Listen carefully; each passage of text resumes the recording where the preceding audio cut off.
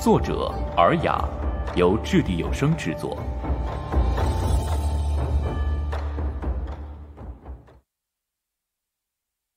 第一千一百五十八集，金盆消手。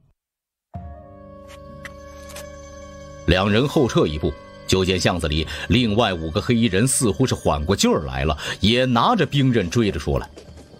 三人追上大部队，眼看就要跑到大街转角，只要过了这个转角就是南天街。南天街正对开封府，布满皇城军，跑过去就等于得救了。可就在众人要转弯还没转完的时候，庞玉突然一个急刹车。小四子赶紧搂住他脖子，包岩一把扶住他，庞玉才没摔个狗啃泥。而那几个小孩前面的刹住了，后面那小胖墩没刹住，摔到了一起，滚了一地。王洛和沈怀月一滚，抱起两个小孩，躲过了砍下来的两刀。众人抬头，只见前方也来了四个黑衣人。将包岩、庞玉和五个小孩护在中间，小梁子、王洛和沈怀月三人护住众人，外围气势汹汹，杀来了十多个黑衣鬼面人。那群黑衣人同时跃起，举起兵刃，恶狠狠砍下。与此同时，就听到远处传来喊声：“小梁子！”小梁子一回头，只见一红一白两个身影正往这边急速而来。可这十几把刀都到眼前了，王洛和沈怀月用天山派内力往外一推，内劲波动，但是只推出去了四个人，还有六个直杀了过来，两人只好往前一扑，替小孩们挡住这一击。庞玉抱住小四子一闭眼，小梁子却是往后退了一步。就在他退开一步的同时，刚才站着的位置出现了一个白色的身影，一个凉丝丝的声音传来。谁敢伤我天山派弟子？王洛和沈怀月一听这声音，心里就是唰啦一声，内力一泄，直接摔到了地上，但表情却是松了口气。那五个小孩一抬眼，只见一个白色的背影，两只白色衣袖往外一甩，他们就觉得耳朵嗡一声，剩下的黑衣人全部飞了出去，而且还飞得很远很远。包岩身后。四个刚刚被推开后爬起来的黑衣人也被扔了出去。包岩看着落到眼前的黑衣人，激动。殷红，那五个小孩唰啦一声回头，睁大了眼睛盯着眼前高大帅气的黑衣人。这个就是殷侯吗？啊，根本不是青面獠牙大魔怪。以前那些没见过世面的门派师兄，果然是骗我们。只是他们还没激动完。就见沈怀月和王洛起身对前方白衣人行礼，师尊。几个小孩又唰啦一声回头，眼睛睁大到不能再大，看着眼前这个怎么看怎么只有三十来岁的白衣人。头发是银色的，好帅气。而此时，天尊瞄了一眼殷侯身后，挑了挑眉：“跑的也太慢了，没吃晚饭啊。”殷侯回头看了一眼，其实刚才在他俩落地救人的同时，展昭和白玉堂已经到了。刚才叫小梁子的就是展昭，那一红一白两道身影自然也是展昭和白玉堂。他俩打老远听到庞玉的呼救声，赶紧冲过来了，眼看就要来不及，把展昭给急的。展昭靠着墙喘气儿，跑都飞起来了，还差点慢了一点。累死王爷我了。天尊对王洛和沈怀月招招手，示意他俩不用多礼。两人站起来，乖乖站在一旁，维持着天山派徒弟们看到天尊时候的心潮澎湃状。五个小孩算是回过神来了，围过去问正收刀的小梁子：“小梁子，他就是天尊吗？哇，好帅气！”天尊瞄了一眼，发现除了小四子和小梁子之外，又多了五个小孩。这几个高矮胖瘦，各种款式。那个小胖墩滚圆。天尊好帅气啊！我们想加入天山派。五个小孩冲过来围住天尊，叽叽喳喳。天尊努力忍住两边抖动的嘴角，背着手摆出一代宗师的派头来，点头。嗯，这甚好甚好啊！一旁，白玉堂无语的看着自家师傅各种摆谱凹造型，几个小孩激动的直蹦呢。天尊背着手，仰着脸，看着月亮，尽量摆出武林至尊的姿势。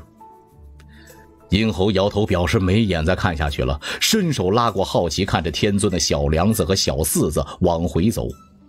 依依，尊尊落枕了吗？脖子怎么梗着？他装大尾巴狼，别理他。那死老鬼，我受欢迎你嫉妒我！天尊瞄了殷侯一眼，殷侯朝天翻了个白眼儿。天尊又瞄了一眼一旁的白玉堂，见徒弟嫌弃脸。天尊刚想调侃他两句，跑得慢，却听白玉堂突然开口：“我爹招待客人，把你床底下两坛子竹叶青给喝了。”好。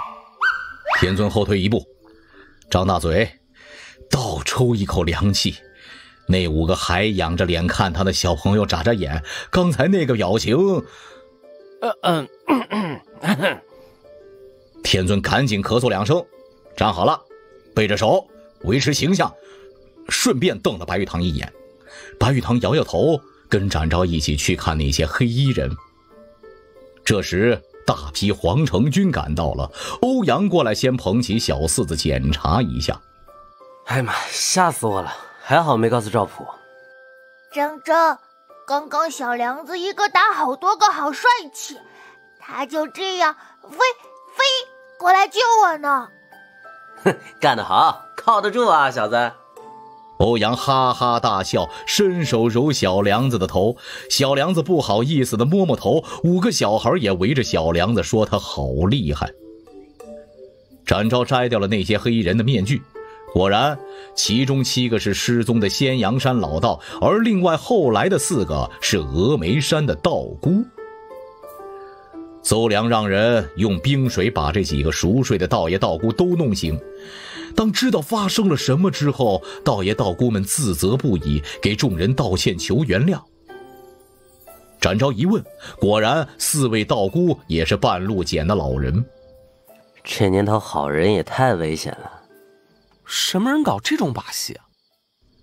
白玉堂看了看远处虚惊一场之后聚在一起的包颜、庞玉、小四子五个小孩，还有王洛、沈怀月。我比较好奇，那些黑衣人是想袭击谁？天山派徒弟，五个小孩，还是开封府的人？我觉得是那五个小孩。我也这么觉得。欧阳让分散去找人的黄成军都回来，按照原来的部署继续巡逻和加强戒备，其他人都回开封府。而此时开封府里，公孙捧着那个金盆翻来覆去的看。这个盆是拿来干什么的呀？洗脸的？不像啊，是那个歪盆洗脸。公孙摇摇头。用镊子在金盆里边刮了一下，夹出一些黑乎乎的东西来。公孙闻了闻，又仔细看了看，突然啊了一声，睁大了眼睛。我知道这个是什么盆了。公孙发现了金盆的用途，而赵普还是一头雾水。九王爷嫌弃脸看着那个盆，不是脸盆，难道是尿盆？公孙白了赵普一眼，赵普催他。哎呀，赶紧说，到底是干嘛用的？外面应该能找到刻字的。公孙说着，拿了块帕子，将那个金盆的表面仔细的擦拭，边擦边寻找着什么。最终，公孙找到了两个字儿，给赵普看。赵普凑过去仔细看了一眼，不解：“臣服。”公孙点头，那金盆上刻着“臣服”两个字。公孙又去看另一个盆，很快在差不多的位置找到了字体一致的“陈谦”两个字儿。我们挖的那个废宅是陈府，那两座坟的主人莫不是也姓陈？这两个人应该就是陈福和陈谦。这是死者脖颈的位置，你看，下面平整吗？公孙边说边拿起一截骨头给赵普看，赵普看了看，点点头，随后皱眉。所以说，这两个人是被枭首的。嗯，而且不是站着削，是跪着被砍头的。所以说，是被处死的。嗯，这两个金盆是用来接被砍下的头颅的。听说过金盆洗手，头一回听到金盆消手这件事。公孙斜眼瞧他，赵虎也不说笑了。为什么用个写了名字的歪金盆来接削下来的头颅啊？公孙将东西都放回原位，洗了洗手，对赵普招招手。这个我只听过一些传说，不是很了解。但是有人应该会知道，谁啊？赵普好奇跟着往外走，公孙微微一笑。殷侯和天尊。公孙和赵普从五座房走到院子里，正巧展昭他们回来了。一群小孩进门，叽叽喳喳议论着刚才小梁子所使用的招式。天尊和殷侯的功夫多么多么高！我为什么听到了袭击、包围、突围这种恐怖的字眼？这些字跟我家小四子有什么关系？